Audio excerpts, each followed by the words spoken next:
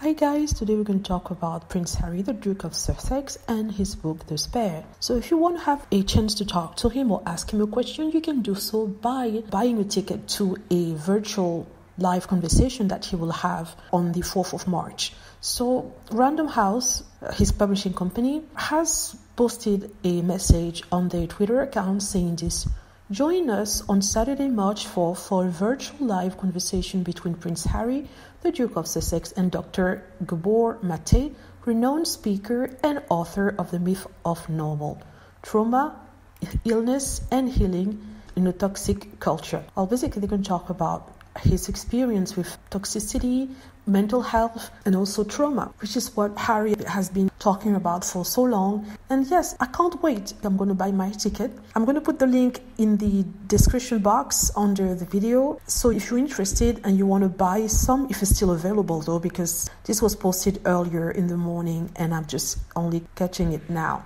It's going to be quite an interesting talk with Prince Harry. Obviously, he's going to talk about his book. He might mention his family, but I think it's going to talk about how he went through life and how he dealt with trauma, toxicity, maybe the media, and how we see lives in general after living, going through all of it. I think they might talk about that. But let's buy our tickets to have access to the information. Let me know what you think. Hope you like the video. Feel free to click on like if it's the case. Subscribe for more videos and click on the notification bell to be notified when I post a new video. Thank you.